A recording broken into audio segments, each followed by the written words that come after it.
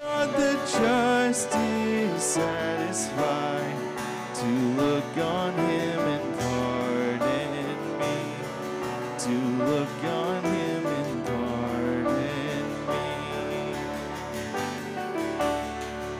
I bow before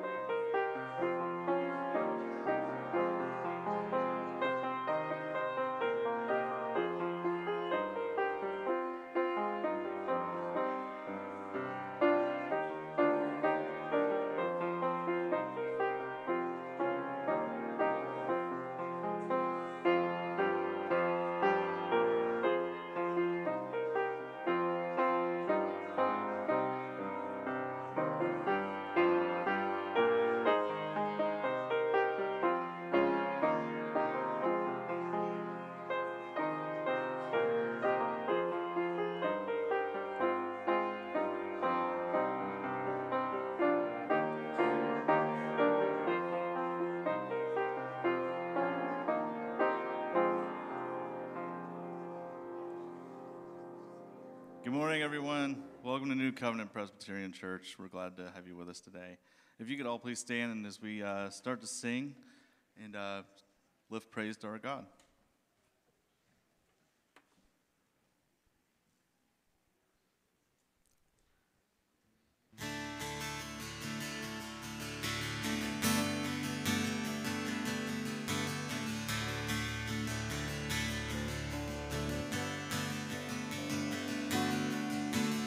Was an orphan lost at the fall, running away when I'd hear you call. But Father, you worked your will. I had no righteousness of my own. I had no right to draw near your throne.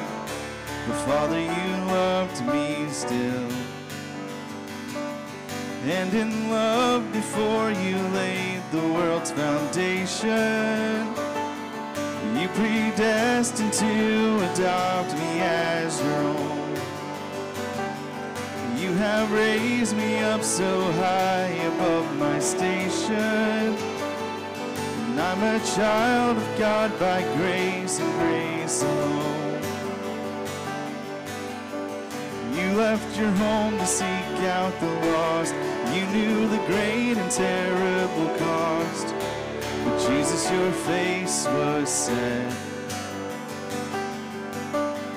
I worked my fingers down to the bone, but nothing I did could ever atone. But Jesus, you paid my debt. And by your blood I have redemption and salvation. Lord, you died that I might reap what you have sown. And you rose that I might be a new creation. And I am born again by grace and grace alone. I was in darkness all of my life. I never knew the day from the night. The Spirit, see.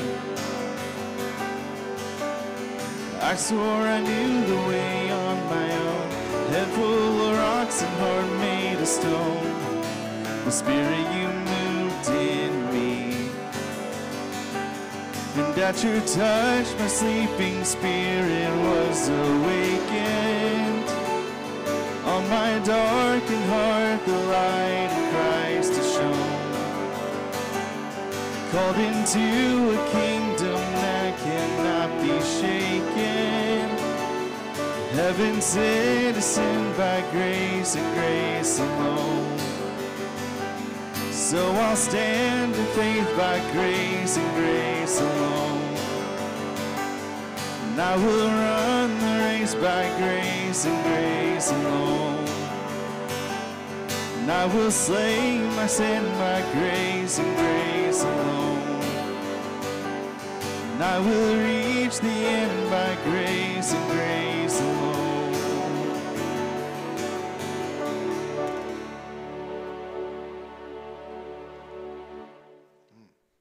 Good morning. Glad to gather together to worship our God for all that He's done for us and all that He keeps doing in us and for us. Hear the Lord. He's going to call us to give Him worship, and then we're going to spend uh, the next season of time giving Him back to what He's what He's asked, called us to do. He heals the brokenhearted and binds up their wounds. He determines the number of the stars, and He gives to all of them their names. Great is our Lord and abundant in power. His understanding is beyond measure. The Lord lifts up the humble, He casts the wicked to the ground. So sing to the Lord with thanksgiving, make melody to, to our God on the lyre. Let's pray. Let's ask God to help us do what He's just called us to do. Our Heavenly Father, we come and we want to sing and pray praises to you, for you have been faithful. You are great. You are abundant in power. You heal the brokenhearted. That's been us. That's some of us today as we're here. You gather us together. You bind up our wounds. You who are the creator have even more so been the new creator, the recreator. And we thank you that you sent your Son, our Lord Jesus, who came and lived in our place and died in our place. And as you've raised him up with you, you've now poured out your Spirit to open our ears, open our eyes, to fill us with love and joy and peace. And we pray that as we worship you today, that your Spirit would cause us to see you and to hear you and give us responsive hearts. And we pray there'd be harmony between our hearts and our lips, uh, and that you would make us whole today. We come to you with many needs. We ask for you to meet with us. We pray that we would leave here different than when we came because we have met with you, the living and the true God, through your Son, our Lord Jesus. And it's in his name we pray. Amen.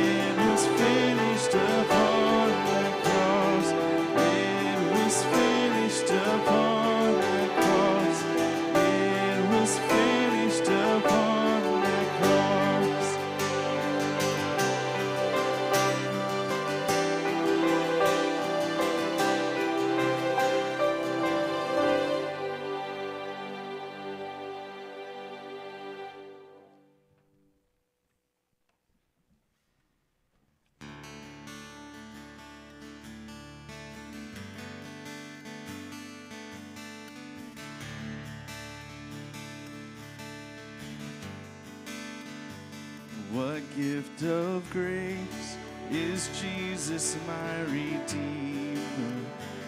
There is no more for heaven now to give. He is my joy, my righteousness and freedom, my steadfast love, my deep and boundless peace. To this I hope,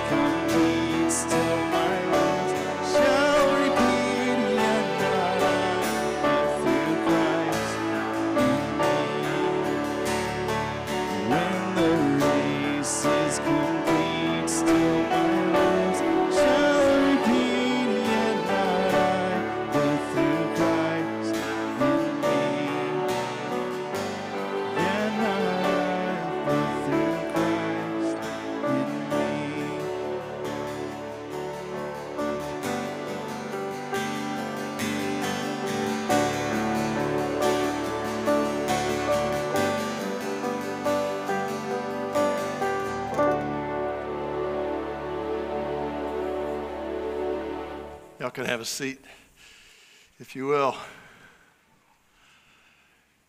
We are going to pray to our God now, and uh, but as we do, we're going to pray together at the beginning, and we're going to uh, confess our sins.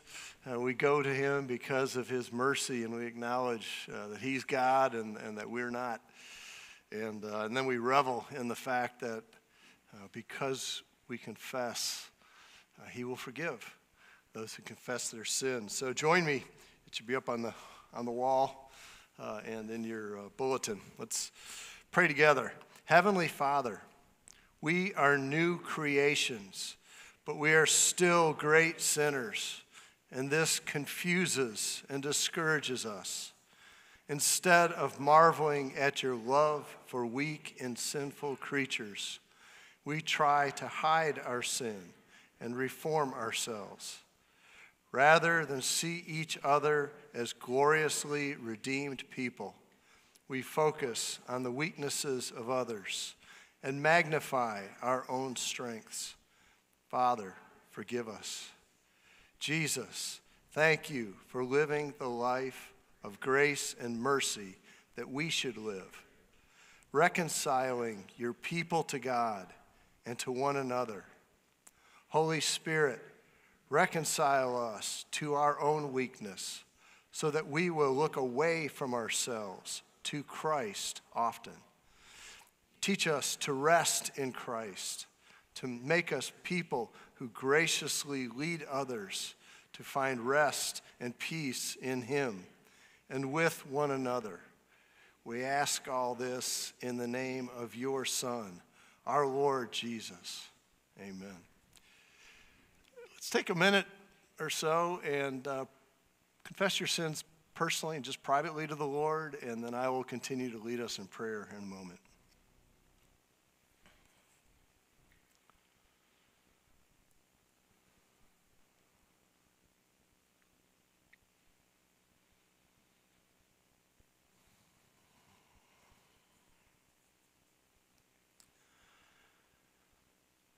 Our Father, having confessed our sin to you, we thank you for your promise that there's therefore now no condemnation for those who are in Christ Jesus. Please cause us to believe your promises, to, to believe that you, you act according to your promises. That we can bank on that and help us to uh, resist and to disallow the voices in our ears that tell us that our sin is bigger than your son's death. Father, fill our imaginations with how you've poured out your love into our hearts by your Spirit. And we ask by your Spirit you'd help us to resist the devil, that he would flee from us. Give us awareness of the faultiness of his accusations and when he's accusing us, that we would stand in the armor of Christ. And we pray that you'd help us resist the temptations that he shoots across our bows and uh, that he uh, encourages our flesh in and, and the fiery darts with which he attacks us. We thank you, Father, that he who is in us is greater than he who is against us. We ask that you'd work out in us the, the fruit of your spirit. You've given us of yourself. And so when we are wronged, help us to love our enemies. When we suffer, give us joy. When we can't see the way out, work peace in us. When, when we need to wait, help us persevere with patience. When we're annoyed with people, or produce in us kindness. When our hearts start to boil over at injustice towards us, grant us gentleness. And when we're weary or we're tempted to go our own way, work out faithfulness in us. And when we're at our wits' end, give us self control. Father, those are the fruits your spirit needs to produce in us so that we don't just respond to life out of our own flesh, our own natural ways, but your spirit, your supernatural way. So it be for your glory. God, give us hearts that just yearn to, to, to be with you and to know you, to reflect you, to honor you, uh, to, to recognize that obedience to you is where we find life. Father, our, our, our hearts are heavy at the injustice perpetrated recently by the officers in Memphis, and, and it reminds us to ask you to be at work in our governing authorities. Cause them to do justly and to love mercy. Please work integrity into our leaders nationally and locally and across our commonwealth. Please honor integrity and stifle corruption, which is caused by self aggrandizement, Lord. Uh, cultivate peace so that we can live before you. Lord, we ask you to build up your church as well. We ask that you bless the preaching and the hearing of your word here in the, in the churches across our city and our region and our nation, across the world. As people are worshiping you, we, we're not alone. We join with millions around the globe today giving you praise and worship. We pray that you just build up love among one another and unity and, and faithfulness and community. With our own church family, we, we ask that you comfort those who are grieving loss. There are those who are suffering trials with severe health challenges, some just long, ongoing. Pray that you'd give the fruit of endurance to them and, and, and faith to, to lean into you, Father. There's some people who are just in circumstantial dilemmas or uh, fractured relationships. Uh, comfort. Comfort your people, Father. Encourage those who are weak. Heal those who, who are infirm. Strengthen those who, who feel no hope. We pray that you help all of us in our belief, in our unbelief, and give us boldness to, to lovingly tell others of, of your greatness and of your glories and of the work of your Son and what you have done for us. In particular, Father, we pray for our missionary. We pray for Nate Longjohn, who's serving Virginia Beach with a fellowship of Christian athletes. And we praise you, Father, that you've raised up through him a, a, group of five to ten surfers who are meeting weekly to study the Bible. We pray that you'd be establishing that group and helping them connect with uh, just the, the, huge number of uh, students and, uh, who, who, go down weekly down to the beach here and uh, to, to surf. And we pray that you bless their efforts and work out all their efforts as they seek to plan a week of surf camp in July. We pray that you bless the, the growing huddles at camp, Kempsville High and provide volunteers to, to launch a girls' basketball huddle and, and a character coach for the boys' baseball team. And Lord, we pray that you'd bless the launch of the, the first campus huddle at Kellam High School this month and that you'd strengthen the student leaders. You would bless that work and reach that campus for Jesus.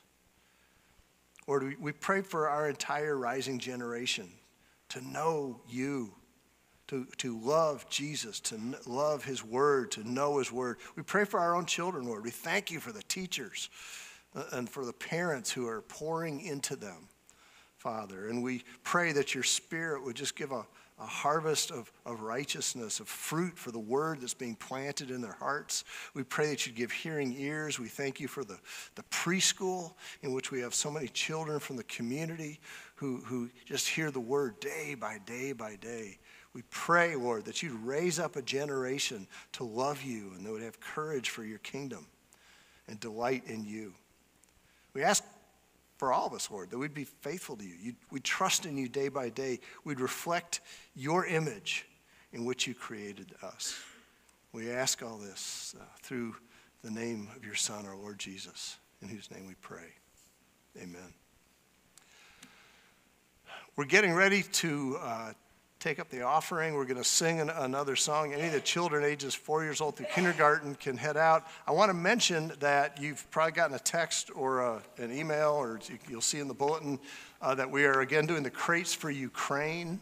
And you can, there's a drop down menu uh, if you want to give online towards that. We've got people, there's specific items that they're trying to gather in the crates. And so we've got people who'll be purchasing those. So uh, you can do that by contributing cash. So thanks.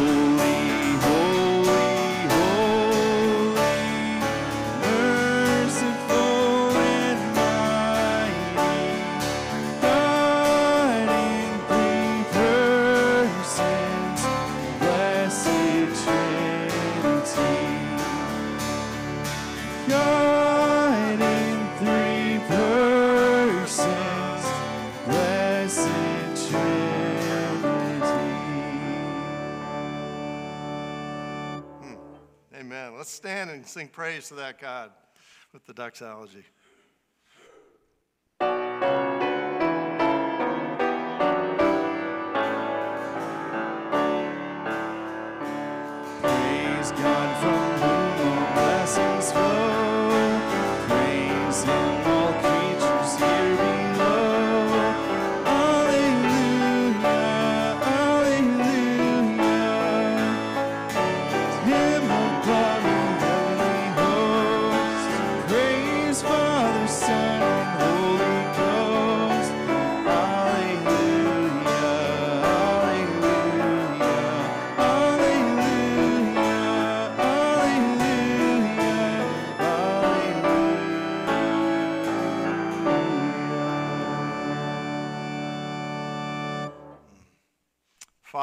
We acknowledge that you, your Son Jesus, your Spirit, Father, Son, Spirit, that you are worthy of our praise. You have given us all that we have.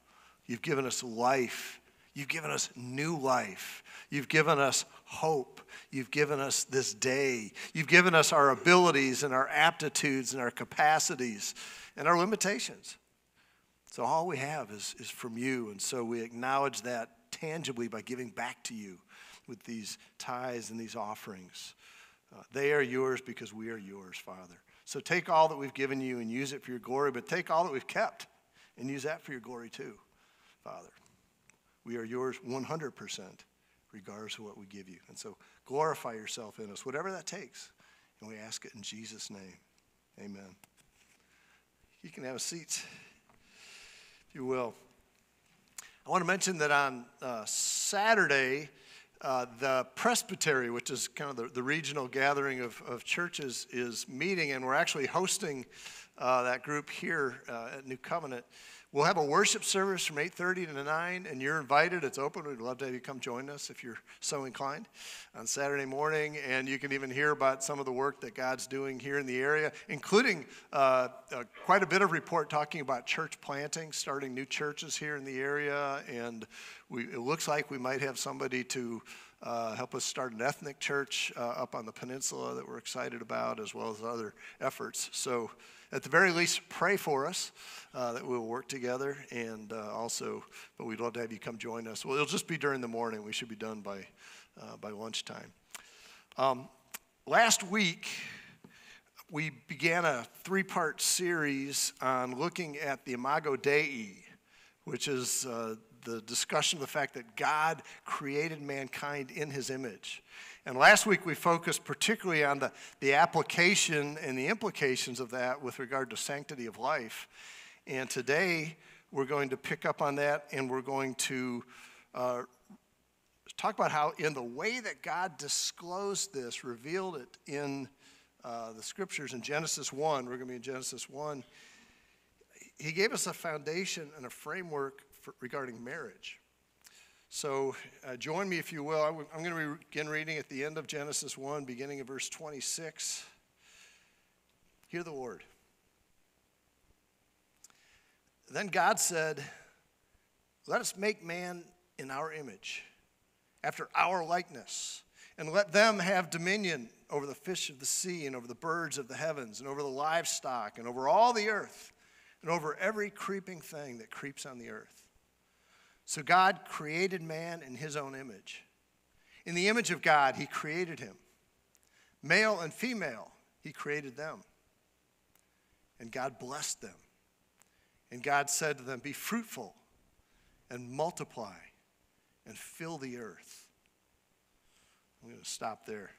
You've, you've heard from the Lord. Let's, let's pray and ask Him to help us understand this and apply it to our lives. Father, you who caused those things happen, to happen and you unfolded them through your word by your spirit. Uh, and then you told Moses about it. So he would write it down for, for your people. To understand how you put everything together and where they fit and where we fit. But you've preserved it for these thousands of years so that we would hear it. So, Father, we need your spirit who taught that to Moses. We need your spirit to impart it in our hearts. Help us understand it and apply it and delight in what you have done and what this means in our lives. So we ask this in Jesus' name. Amen. It's interesting in what I just read, you hear God very clearly say he's got a purpose. He had an intent to create mankind in his image, and then he did it. Okay, he had a purpose, and then he accomplished the purpose. He said, Let's, let's make man in our image and our likeness, and then it says he, he did it. The reason why he characterized it this way and had Moses write it down and explain it this way was because in the day when this was written, the people would have understood because kings, they want their people to know who's ruling them, right? We get it nonstop. We have 24 7 news where you always see who's, who's ruling you and making clear who, who it is that's in charge. Well, it was the same way back then, except they didn't have the internet and they didn't have the airwaves. I guess they had airwaves, they didn't know how to use them. Okay, they didn't even have print. So the kings would let the people in these other towns know who was in charge by establishing images of themselves, statues, or on coins. Remember Jesus when they asked him about paying taxes? He says, Who, Who's, take out a coin. Who, whose image is on the coin? And they said, Caesar. He, he wanted them to know who was king. He said, Well, give to Caesar what Caesar's and give to God what is God's. The image on the coin was Caesar's, the image on us is God. Give Caesar the cash and give me yourselves. And so when God was placing his image on mankind, he was establishing images of himself so it would be clear who ruled. And when he gave them the command to be fruitful and multiply and fill the earth, he wasn't just talking about having lots of babies and having children and having families, although that's what it would look like, but he was very specifically meaning multiply images of me to show that I rule all the earth. That was, that was God's plan and that was uh, God's intent. But the way that Moses described this, I, I believe, and I want to show you, shows also God's intent in marriage, because that was part of what he created right out of the box before the fall, before things were broken uh, by sin. So, for example, the first thing we see is the picture of marriage in the Imago Dei, the image of God. If you look at verse 26, that first phrase, uh, part, he says, Then God said, Let us make man in our image, after our likeness. That's kind of interesting because where does the our come from? I mean, I think the only understandable or, or thing that may, and I've got wonderful Old Testament scholars that I love and respect who believe otherwise, but uh, there are also many who, who concur that this is talking about the Trinity. When let us make man in our image, it's the Father and the Son and the Spirit in council together saying, let mankind reflect us. Trinity is one God, three persons. And then God said in the second part of the verse, let them have dominion. So when he's saying, let's make man in our image, he then says it's plural. Let them have dominion. So he's not just speaking of one person, although God's attributes are reflected in us individually. He's rational, we're rational. He's creative.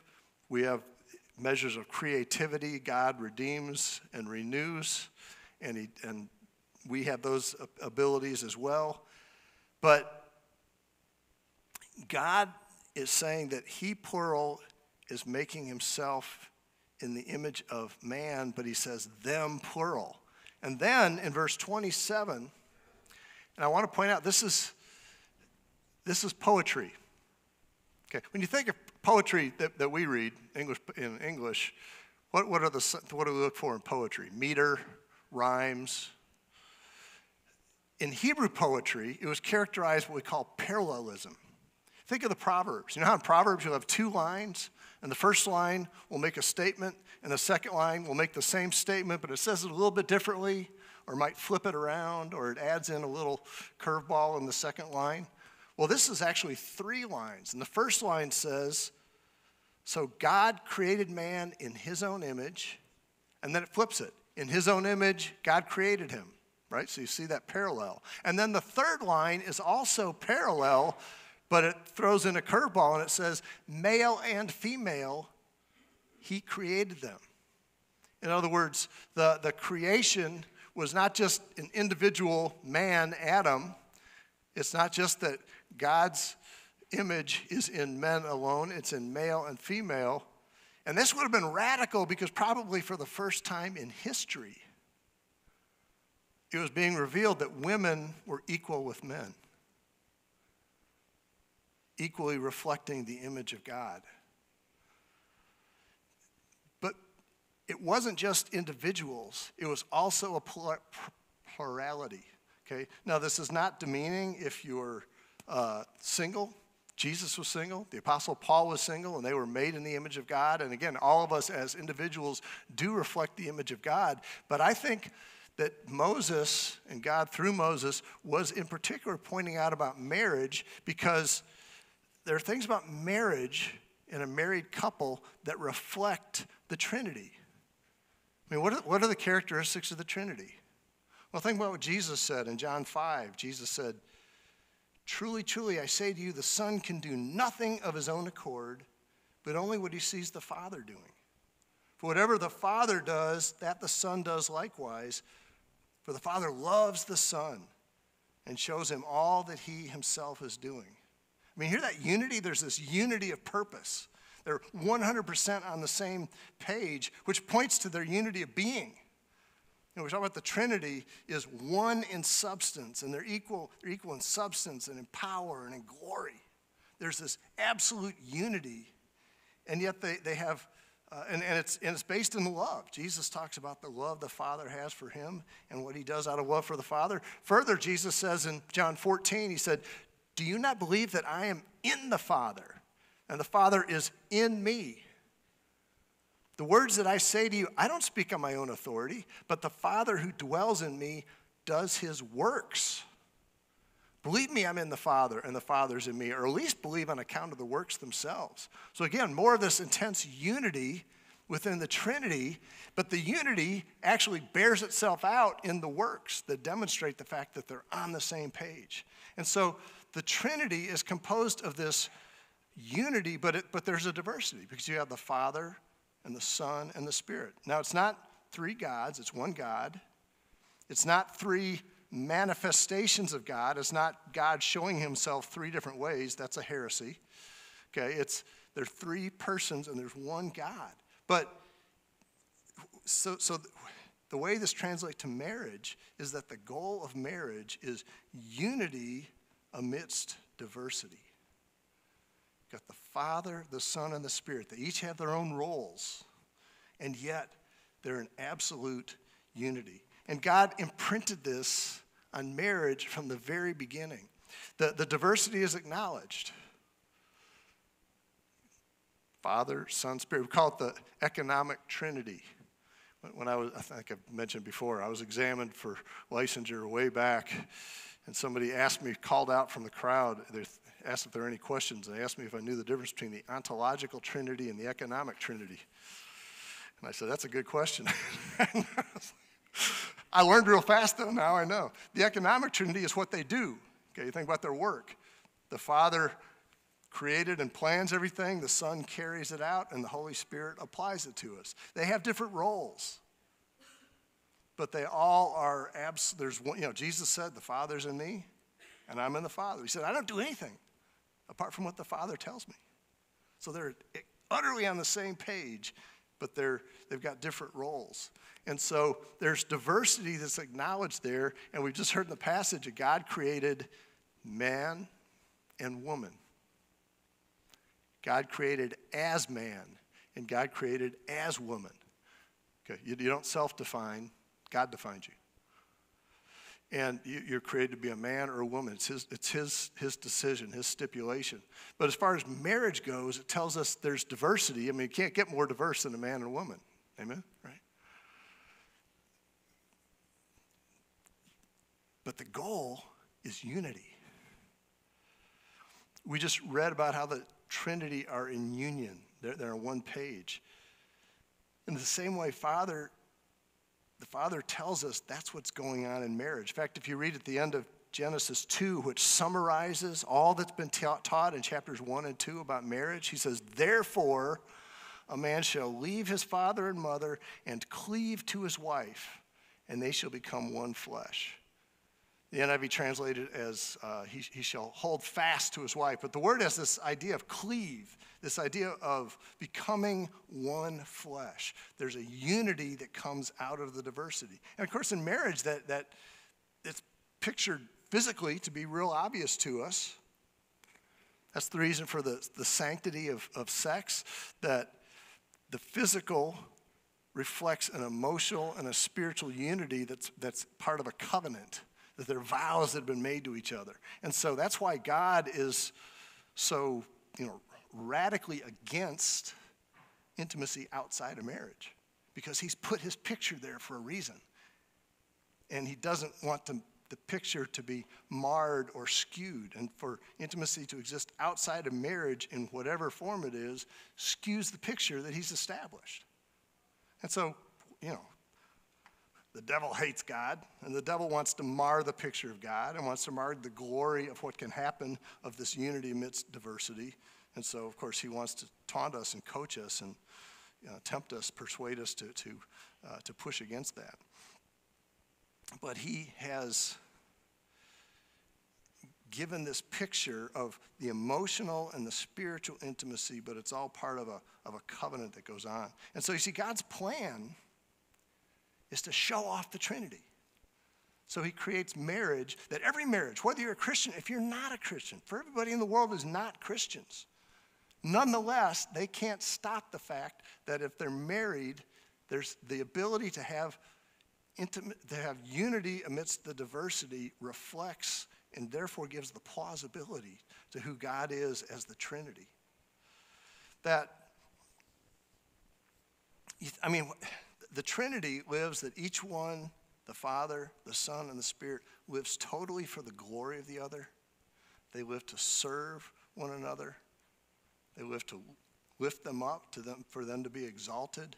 They, they give and they honor one another within, within the Trinity. And if we think about implications for our marriages, you know, that, it starts right there.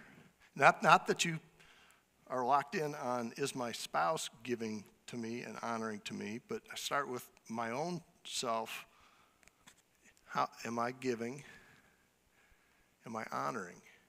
Is that, is that the full corpus of what I'm trying to accomplish? Or am I trying to get giving? Or am I trying to get honor uh, that's being, being shown to me? So, and there, the other implication you think about in the Trinity, the Father, the Son, and the Spirit, they existed from all eternity, and they were good as gold. They were happy. There was full love towards one another and joy.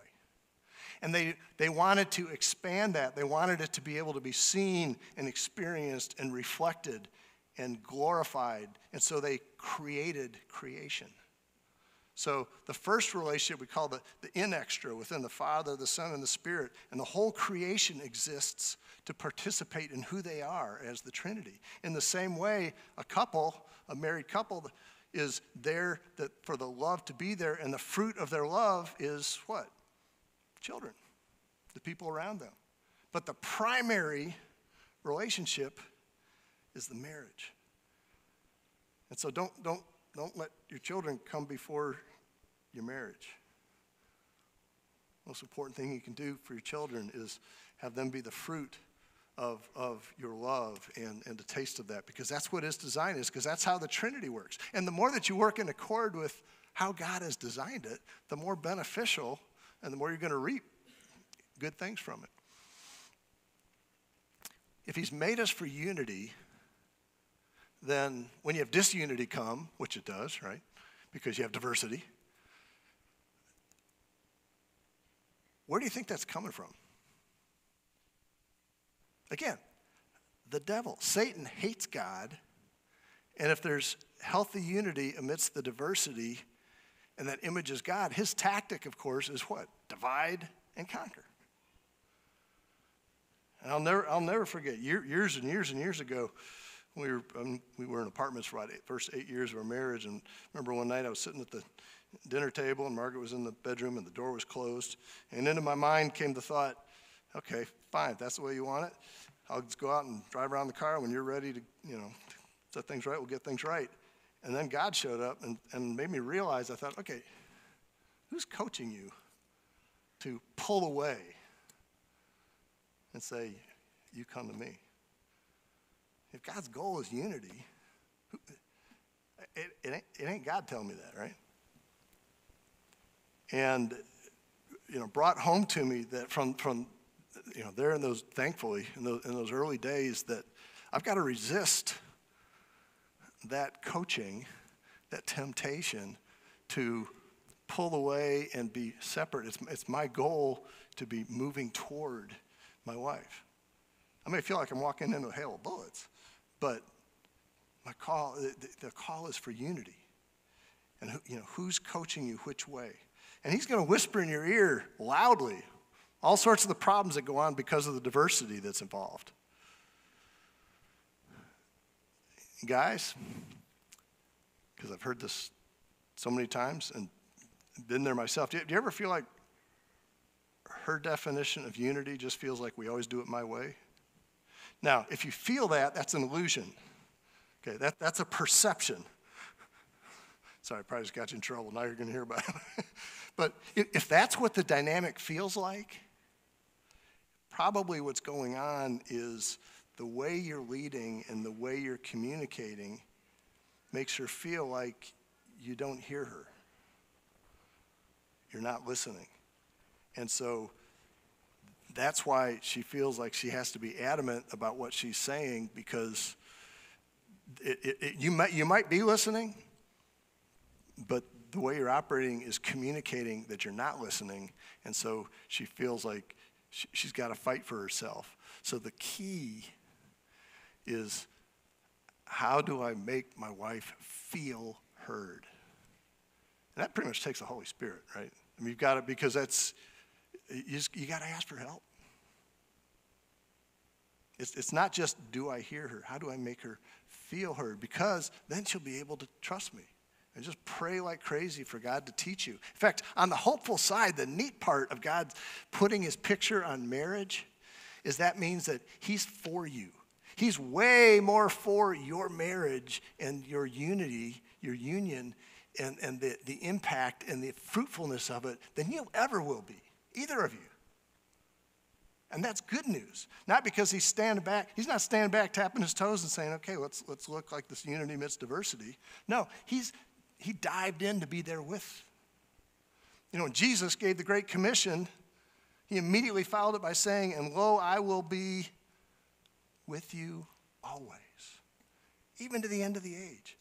God calls us to do what he wants us to do, but then he gives himself to us to enable us to do it. And so I know, you know, in those early years when we was, I was learning and struggling, and the more harder I tried, the, the, you know, the worse I was making it.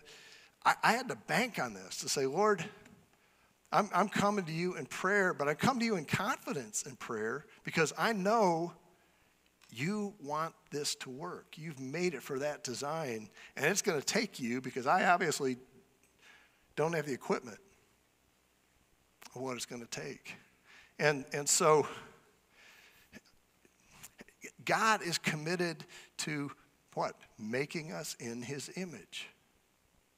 I mean, in Romans 8, Paul says, he is, we are, those who love him and are called according to his name are predestined to be conformed to the image of his son, of Jesus. He's trying to make us like Jesus. And Jesus, being the perfect man, was therefore the perfect image of God. Right? It says in Hebrews 1, he's the radiance of the glory of God and the exact imprint of his nature. So God is at work to make you like Jesus because he wants to make you like him in his image. So just ask for help and keep on asking every day. Don't, it's, it's not that you ask and then you see if you got it. Just keep asking. Because every day it's just a continual process. And don't question God's commitment to you or to making this happen when it's coming about real slowly. I mean, think about in Hebrews 5, talking about Jesus as he was living, it says he learned obedience through suffering. So God is always working in you, even and even most particularly in the wait. The wait is where there's the suffering, right? I always say that the, the faith wouldn't be so hard if it wasn't for the without sight part, where you got to wait and say, okay, is anything going to happen? That's the hard. That's that's the challenging part. Is you've got the, the challenge, it may be within your marriage or maybe health or you know, whatever your situation is, and you're praying and you're waiting for God to come through, that's where you're tempted to suffer and to get off track. And that's, that's where faith comes in. Is, is trusting, even when you don't see him deliver, it's saying, I'm still banking on you, God. You know, like Peter said, where else are we going to go? Everybody else left, and Jesus turned to his disciples and said, Aren't you guys leaving? And Peter says, You're, you're God. You're the Lord. Where, where are we going to go? You're, you are it. That's faith. And James tells us the trials produce perseverance. So you just keep hanging in there with him. And what you find is the, the quality of your trust and your faith and the, and the, the your, your spirituality is most evidenced when you don't get what you want. What do you do with it? How do you respond? Do you, do you keep leaning into him? when you're not getting it. Say, I'm not getting it, but Lord, you're the one, you're my hope. You're my only hope. And so you want your primary goal not to just be relief, but to know Him more. And you find that by just exercising the faith muscle. And prayer is doing faith. So, what's the equivalence between prayer and faith? Prayer is faith. Prayer is just saying it out loud to God God, I trust you. I can't do this. You're God. I'm not God. I, I, I don't have a clue you know, God says he opposes the proud and he gives grace to the humble. The proud want immediate attention, immediate delivery. Say, I deserve this from you, God. Why aren't you come, coming through for me? And the humble say, God, I got to trust you. And think about it. You're much more apt to cultivate unity when you've developed the perseverance of being humbled and trusting in humbling yourself before the Lord, and you're less demanding than if you're digging in your heels and trying to get your way. And if you're doing that with God, that helps you be that way with your spouse. Years ago, um, we had a, when I was a singles pastor, uh, had a speaker come and he, he asked the group, he said, if I were to ask you, what do you think, if you were to get married, what is, what is it about you that you think will probably lead to the most conflict in your marriage? And he gave him a little bit to you know, sit and stew about it. And he said, Now I'll bet what you were thinking was all those things about you that you knew would drive somebody up the wall. He said, You know that's what's going to create conflict in your marriage. But he said, Guess what? That's not what it's going to be. He said, What it is about you that's going to bring the most conflict in your marriage are your virtues. Because when you know you're right, that's when you dig in your heels. I'm like, ooh, touche, wow. Because that's true, right? It's when you know you're right that you're not giving an inch. And the, the, God's humbling us and causing us to trust that you know, I may not be seeing things. I, I need help. This is bigger than me is where the opportunity comes. Now you've got unity, but again, the unity is amidst diversity. And when and chapter one of Genesis focuses more on the unity in marriage, and the chapter 2 describes the diversity. It says in chapter 2, it says, The Lord God took the man and put him in the Garden of Eden to work it and keep it. Then the Lord God said, It is not good that man should be alone. I'll make a helper fit for him. So God gives Adam the job. Now, chapter 1 of Genesis is kind of like the big picture. You know, in cinematography, when you start and you've got a scene and it shows the whole globe of Earth, and then all of a sudden it zeroes in and it, and it shows a little what's going on in somebody's life. That's kind of like going from Genesis 1 to Genesis 2. Genesis 2 tells you the same thing we read in Genesis 1. It just is zeroing in on what's actually happening in the garden. And it tells us God actually did create Adam first, and he gave him a job. But immediately after he gives him the job, God says, he needs help. That's what we call a design deficit. It was a purposeful design deficit before the fall. God made Adam so he could not function alone. But when he says he needs a helper, the, the Hebrew word for helper is a word that's only used of one other character in the Old Testament. You know who else that describes? God. God is our helper. So obviously, he's not just talking about somebody to carry the tools. Or he's not talking about a junior assistant. When he says he needs a helper, he needs somebody who brings to the table what he doesn't have, which is what God brings to the table, right? He says when, when he made, made woman to be there to be partners with the man, it was to be complementary. In fact, the word where it says he was fit for her or suited for one another is this picture of uh, being complementary, being like a reflection. Like when you look in the mirror, you see yourself, but it's all backwards. You, know, you ever try to cut your hair in the mirror? You know, it's, it's complicated. Uh, and yeah. Um, you know how that goes. Try to cut your eyebrows and the, you know, or your, you know, and the, and the scissors are all backwards. That, that, God's saying he, that the woman is, is like the man, but different. It's a complement, filling in the gaps of, of, of where he is. And so there, there's a, a diversity emphasis that God made in order to work together well. There's separate roles. He, he's not to be alone, but she was made as, as a complement. Now, implication that means your spouse is custom made for you. Now, every man is different, right? And so our peaks and valleys, the places where we need gaps filled in, are different. So therefore, the match between a husband and wife are, is going to be different. It's, you know, it's not all men are not the same and all women are not the same. They're, they're, they're, and that's part of why the Bible doesn't really say there's, oh, these super specific roles. It gives broad parameters, but it's going to be different for each couple. You know, in some couples, the wife definitely needs to be doing the finances. In some couples, the husband definitely needs to be doing the finances, right? And it, you know, just there are all sorts of ways which our, our roles are not always the same in each couple, but, but we're made to be a complement to one another. But something that happens, when we talk about unity and diversity, if, if I'm doing premarital counseling with a couple and they're engaged and they're you know all starry-eyed and gaga about each other. And um, I, I, know that they I have to spend more emphasis on talking about the diversity of not of realize you're about to be jolted by how different you are. Because you feel like oh yeah we like all the same things. We say all the same things. We talk about all the same you know. It's like no they, we focus on the diversity. But if i'm sitting talking with a group of couples who are married they got the diversity thing down, right? so let's, let's work on unity, okay? we need to focus a little more on unity. Uh, and the, because, and what I tell the pre, couples in premarital counseling is you're about to have more conflict just being engaged because the, you used to just be talking about, you know, what do you want to do tonight, which isn't that complicated. Now you're talking about planning the wedding. You have things you have emotional investment in. You're going to start to, you know, bump heads. And all the things that are charming to you about how this person just sees the world so differently, make it more challenging when you try to live together, right?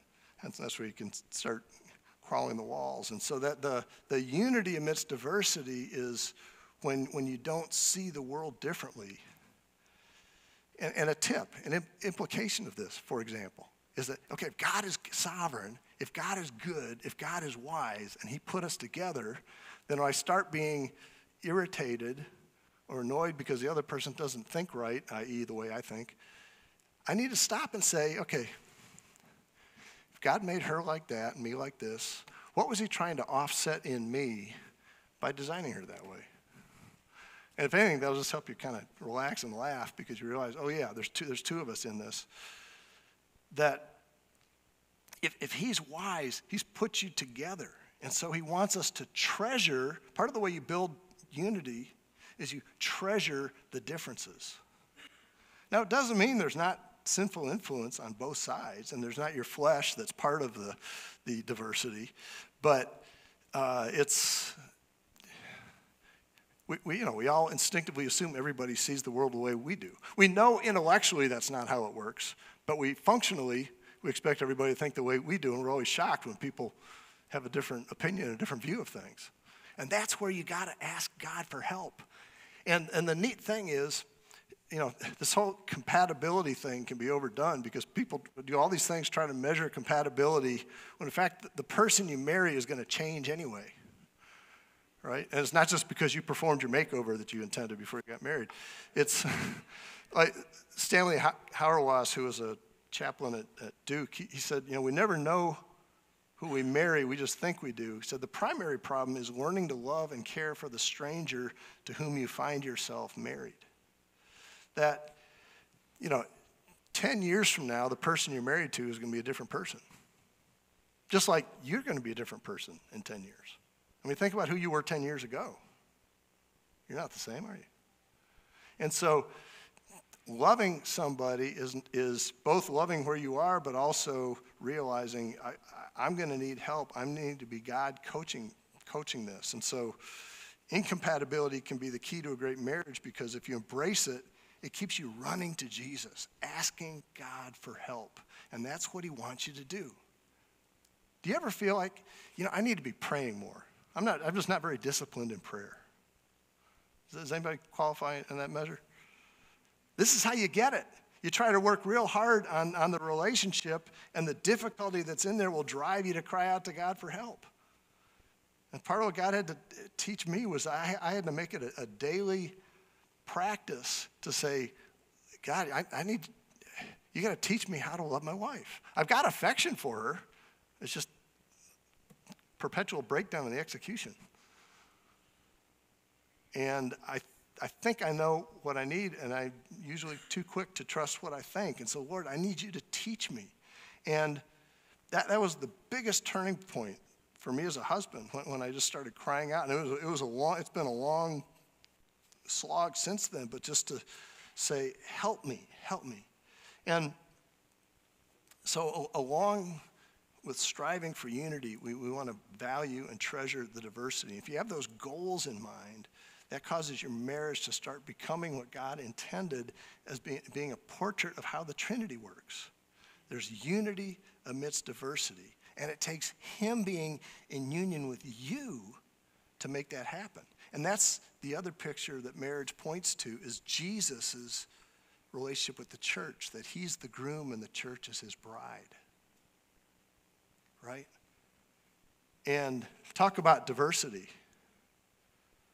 He's perfect, and we're relentlessly unfaithful to him. Kind of like Hosea. Some of y'all may be studying that in Sunday school. But Jesus humbled himself and he laid down his life. Why? to pay for our failures. Not just to woo us, it was to but it was to deal with our mess, our, our, our shortcomings, our sin, our rebellion, even to the point of his death. But in doing so, he, came, he overcame this radical diversity to bring us into utter unity with him. You know, and you, you, see, you see and you feel how diverse you are from Jesus, right? And it's by faith you stand in the fact that He has established my union with Him. I'm in union with Jesus, even though I feel like I'm so different from Him.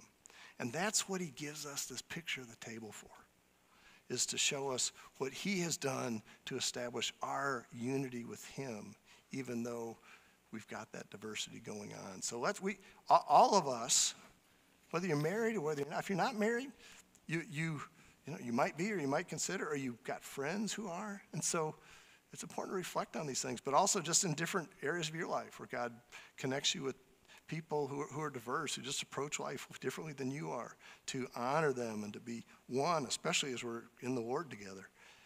And uh, if you're younger, I'm just anticipating for down the road of what, what to expect. So let's ask God to see his unity amidst the diversity and what he has done for it and for us in Jesus. We thank you, Father, that you, in your wisdom, as the creator, as the, the recreator, the one who made us new in Jesus, we, we thank you that you described the picture from the very beginning. This is chapter one. Chapter one of Genesis. And you told us what you were doing.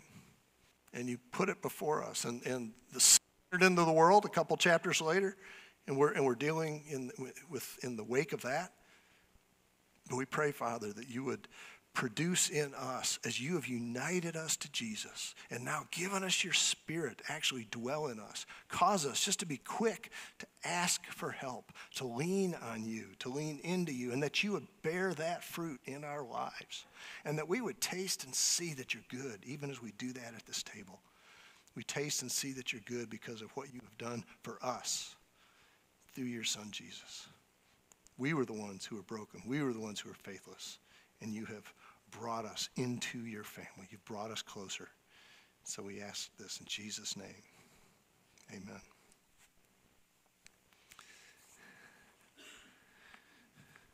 The Apostle Paul.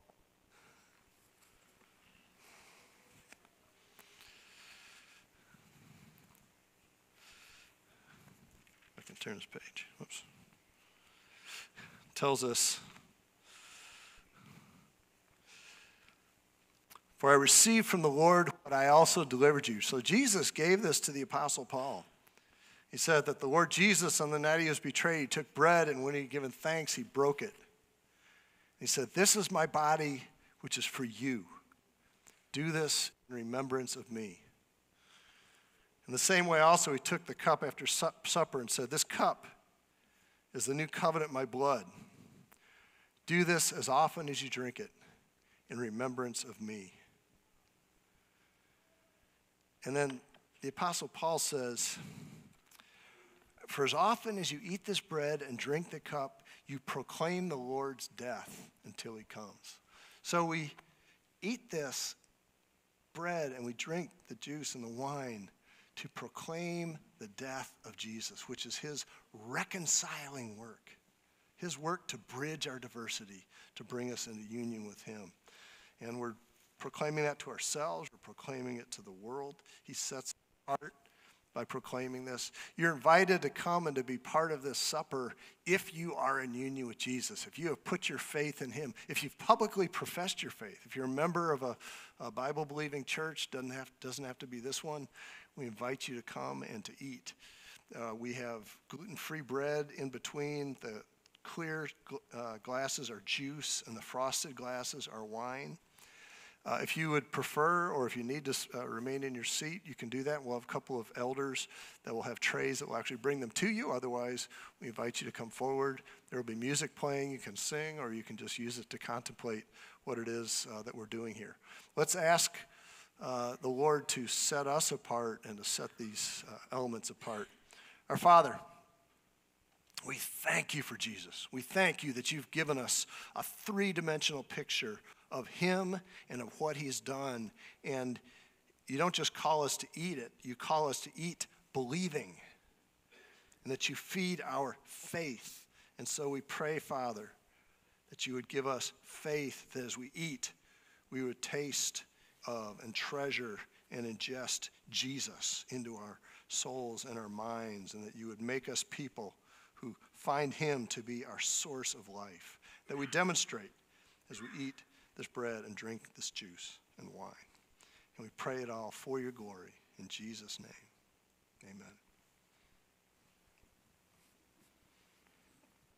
amen.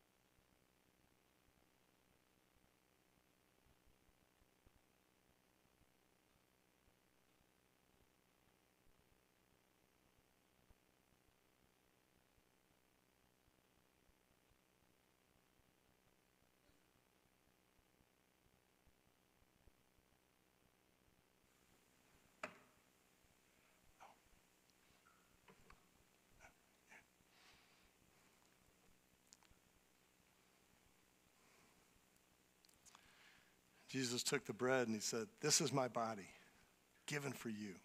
Do this in remembrance of me.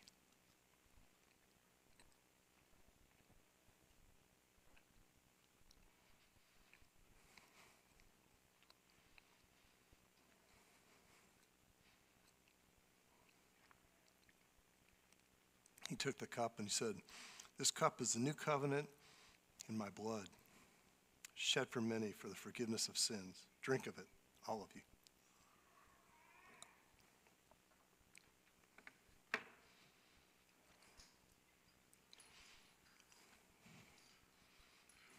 Father,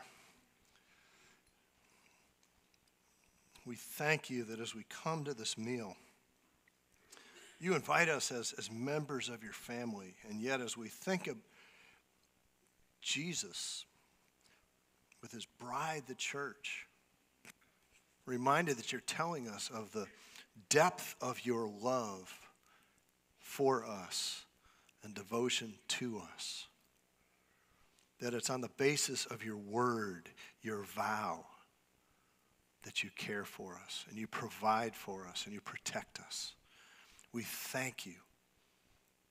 That's on the basis of you keeping your word, not on us keeping our word. Lord, help us to be faithful in response, to delight in your love. You tell us that rivers of living water will flow from the innermost being of those who believe. We pray that you would cause that to happen, that we would have that and we'd slosh over on people around us because we have tasted and seen that you are good. And we ask this in Jesus' name. Amen. Let's stand. Let's sing praise to God.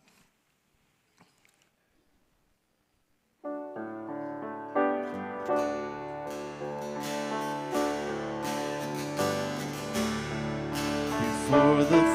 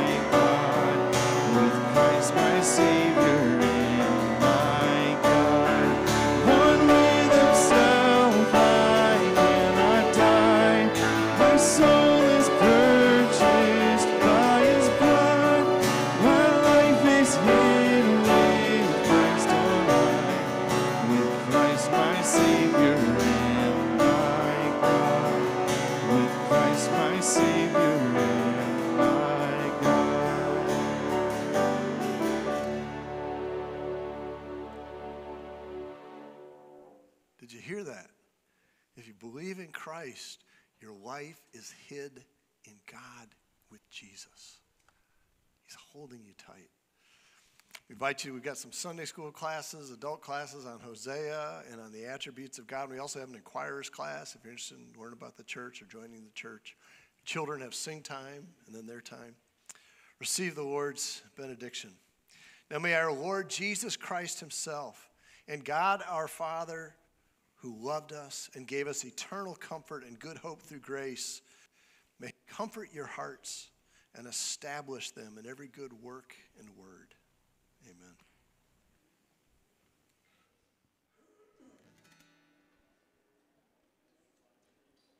Oh.